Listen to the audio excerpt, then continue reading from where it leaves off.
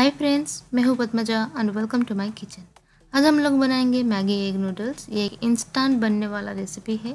बहुत जल्दी बन के तैयार होता है और खाने में बहुत ही बढ़िया टेस्ट करता है। और इसे बनाने के लिए ज़्यादा मेहनत की भी ज़रूरत नहीं पड़ती है। चलिए, देखते हैं इसको हम कैसे बनाएँगे।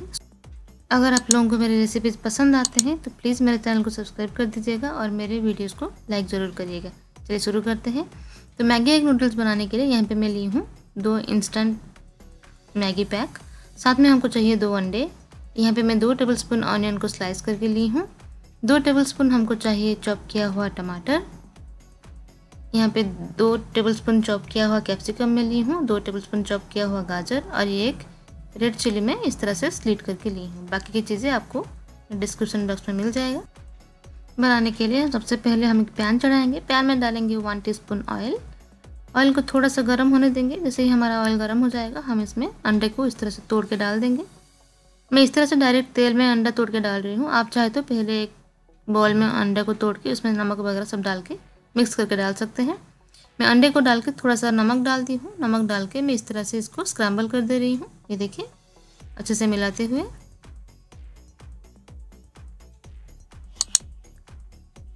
ये देखिए, यहाँ पे हमारा अंडा जो है हम अच्छे से तोड़ दिए हैं। अभी हम इसमें डालेंगे थोड़े से ब्लैक पेपर पाउडर मैं बहुत थोड़े से डाली हूँ लाइक वन पिंच अच्छे से इसको मिक्स कर लेंगे। मिक्स करते हुए हम यहाँ पे फ्लेम को रखे हैं लो मीडियम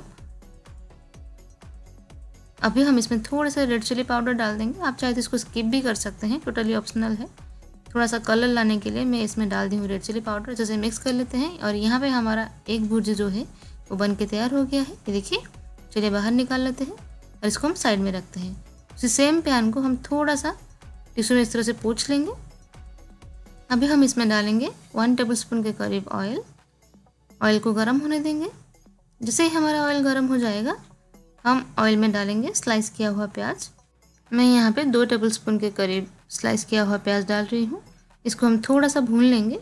हमको ज़्यादा ब्राउन करने की ज़रूरत नहीं है, बस थोड़ा सा इसका कच्चा स्मेल चला जाए, तब तक हम उसको भूनेंगे। जैसे ही हमारा प्याज हो जाएगा, हम इसमें डालेंगे वन टीस्पून के करीब जिंजर गार्लिक पेस्ट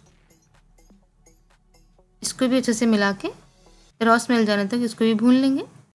मैं जिंजर गार्लिक पेस्ट यूज़ की हूँ, आप चाहे तो जिंजर गार्लिक को चॉप करके डाल सकते हैं. ये देखिए, यहाँ पे हो गया है. अभी हम इसमें डालेंगे चॉप किया हुआ कैरेट दो टेबल स्पून चॉप किया हुआ कैप्सिकम दो टेबल स्पून और ये एक मिर्ची को इस तरह से अच्छे से मिला लेंगे. साथ ही डाल देंगे हम टमाटर जो हम रखे थे, दो टेबल स्पून के करीब चॉप करके, अच्छे से सबको मिक्स करते हुए हम सॉटे करेंगे दो मिनट तक। अभी हम इसमें थोड़ा सा नमक डाल देंगे, क्योंकि जो टेस्ट मेकर होता है मैगी, उसमें भी नमक रहता है।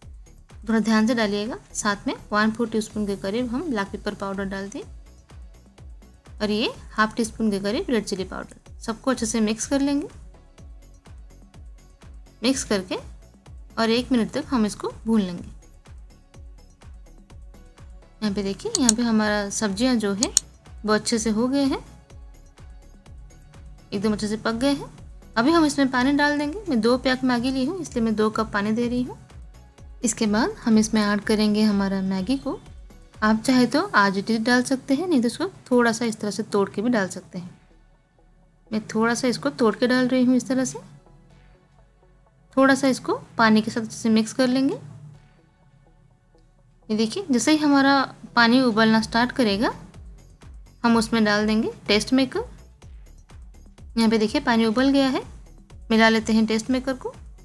अच्छे से मिक्स कर देंगे। मिक्स करके इसको अच्छे से कुक करेंगे पानी इसका ऑब्ज़र्व होने तक। ये देखिए, अच्छे से मिलाते हुए हम इसको कुक करेंगे। पूरा पानी ऑब्ज़र्व होने तक हम उसको कुक करेंगे। ये देखिए, यहाँ पे पाँच मिनट हो गया है और पानी हमारा ऑब्ज़र्व हो गया है। और इसको एक मिनट लगेगा पूरा ऑब्ज़र्व होने के लिए। यहाँ पे हमारा पानी जो है वो अच्छे से ऑब्ज़र्व हो गया है। अभी हम इसमें डाल देंगे जो हम एक भुर्जी बना के रखे थे उसको। डाल के अच्छे से मिक्स कर लेंगे और मिक्स करके हार्डली एक मिनट हम इसको कुक करेंगे। ये देखिए, यहाँ पे हमारा मैगी जो है वो बन के तैयार हो गया है। गर्मा गर्म मैगी एग नूडल्स को हम बाहर निकालेंगे और सर्व करेंगे। ये देखिए कितना बढ़िया दिख रहा है और ये खाने में भी बहुत ही टेस्टी लगता है।